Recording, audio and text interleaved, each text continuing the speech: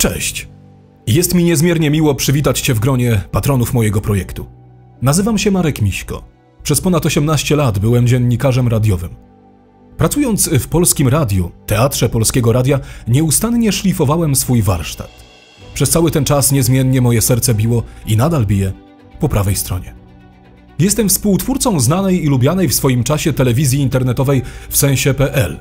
Jako redaktorowi naczelnemu i dyrektorowi programowemu tej stacji udało mi się wraz z zespołem stworzyć pierwszą w polskim internecie konserwatywną telewizję o w pełni sprofesjonalizowanym profilu. Jestem też twórcą społecznych działań i kampanii patriotycznych, z których najgłośniejszą był słynny projekt Respect Us. Dziś, po latach pracy zawodowej i przygodzie z biznesem, wracam do tworzenia unikalnych i w pełni sprofesjonalizowanych treści o charakterze konserwatywnym.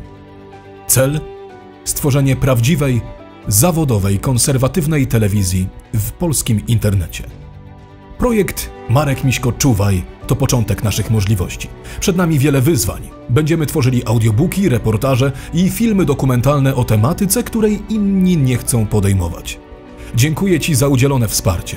To dzięki niemu ze spokojną głową mogę tworzyć i publikować wartościowe treści, które już dziś swym zasięgiem przekroczyły ponad 10 milionów wyświetleń na wszystkich naszych komunikatorach.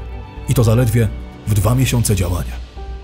Jeżeli uważasz, że to co robię ma sens i jest potrzebne, pamiętaj proszę o wsparciu, bez którego nie uda mi się osiągnąć zamierzonego celu.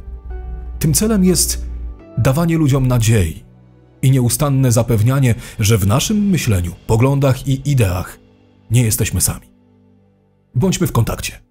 Dzięki, że jesteś. Marek Miśko. Czuwaj.